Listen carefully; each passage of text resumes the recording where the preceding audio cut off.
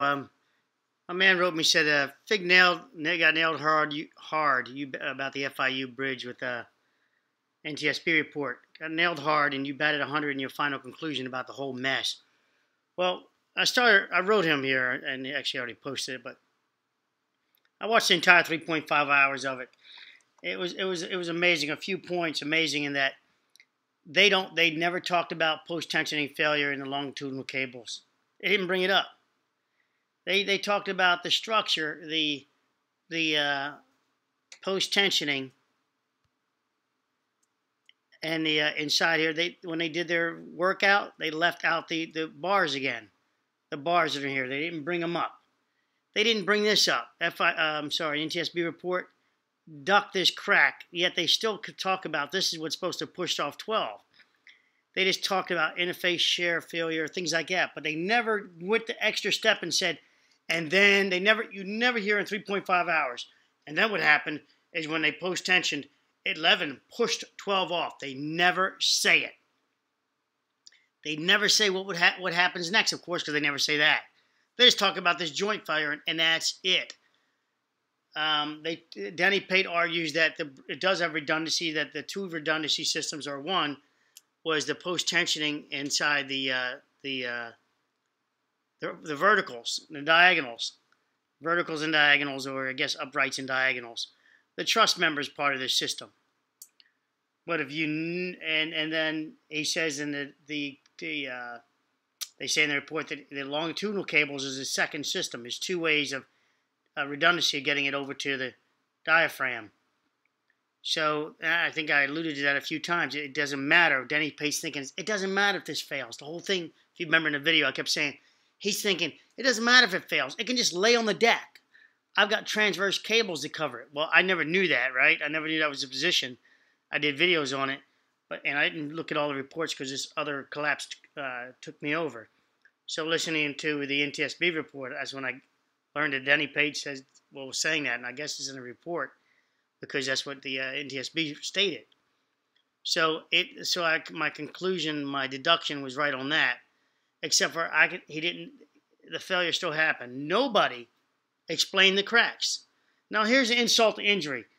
Um, um, the head of NTSB is stating how the Berger did not have uh, qualifications to do it, and to have qualifications, you need three engineers that I, I'm, I'm, I'm, extrapolating that need to be signed off uh, engineers from Florida that have dealt with this type of structure to be able to evaluate it, to be the, the uh, evaluating party, right, of the, of the plans. And then uh, um, during that, this three hour, 3.5 hour meeting, I'm leaving this image up to remind you that this is what they're claiming pushed this off. This broken leg, a broken fractured leg. Kiss my. Uh. So anyway, so then the uh, he's stating the head of the NTSB stating how three you need three engineers that are certified with this type of concrete complicated construction design to be to be the review board. He says that his two his engineers there for the NTSB, the two professional engineers, and he and he facetiously says, "You didn't get your degree from some a diploma mill, did you?" Meaning, you know how you guys can get a degree from a diploma mill. You know, you shop around and you can get a degree. Um, so you, you uh, and uh, those degrees are out there too. And they, the guy was like, no, no, we uh, we had to take a test for the, the PE, professional engineers. Two of them. One stated that, the other one didn't state it, but yeah, that's that's the gist of it. So look what I just said. Two of them, but yet the the, the FIU, I mean, his uh, the uh, NTSB report concludes that you need three people certified in this type of bridge evaluation to be able to do the, uh, the evaluation for the plans. His two engineers have are not certified in this bridge in advanced concrete as this as this is advanced concrete uh, complicated systems. They never gave their their uh, certification in that capacity. I don't. They're not certified in Florida. I did look that up. They're not certified in Florida, and there's only two of them. You just told me to review a bridge is complicated issue. You need three professional engineers that can do complicated uh, concrete structures, and then you just presented me with two that are not licensed in the state, and who which which we can turn a blind eye to, I guess. but they are evaluating a bridge in Florida. I don't care that there's no. I don't have an exemption for them being in, in there because they're putting an evaluation in Florida. They're doing. They're practicing their professional engineering in Florida, right? So what do they have? A license in Florida to do that? Tell you. So what do you think? Shouldn't uh, FDOT counter with your two engineers practice uh, professional engineering in Florida and then uh, sanction the two engineers for the NTSB? I'm just throwing it at you guys. Doesn't that make sense? Now I've had people threaten my license. I'm not practicing here. I'm doing what I'm doing here. It's safe. They actually did a full, you know, practicing engineer thing there. Showed up with the capacity acting as a professional engineer. All right, so now declaring them declaring their degree as part of their statement. So now you are practicing at that point. So you're um you're and they only use two. One, two. He didn't use three, and neither one of them qualified themselves to be advanced in this design evaluation. So I find the, the NTSB report to be um, part of the thing is you have to be advanced and, and is knowledgeable in this.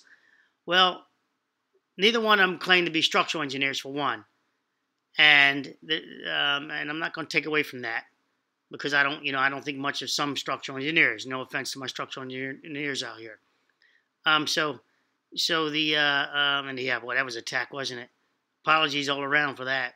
Um, I don't think much of the. If, in other words, I'm trying. My bias is I don't care if they would have put uh, SE uh, behind their name. There's two of them and it's still the plant it requires you to have advanced knowledge of this and then they just went on with the narrative to prove that 11 we all know 11 12 eventually slipped right somehow the failure happened there 90 happened 90 degrees there happened but this didn't do it this this they didn't talk about the capabilities of this they talked a little bit about the failure in the back but they never talked about they showed on their drafts they stayed away from this side during the entire friggin' presentation. They did not come on this side. All their all their presentation showed the other side of the member. I said they were going to do that. They did it, and I said nobody's wants going to talk about this crack, and they didn't. I'm triggered. I'm ready to start cursing, and that's going to ruin my YouTube channel. So I'm going to shut up. Put this out there for you. There's a lot more in that in that whole 3.5 hours.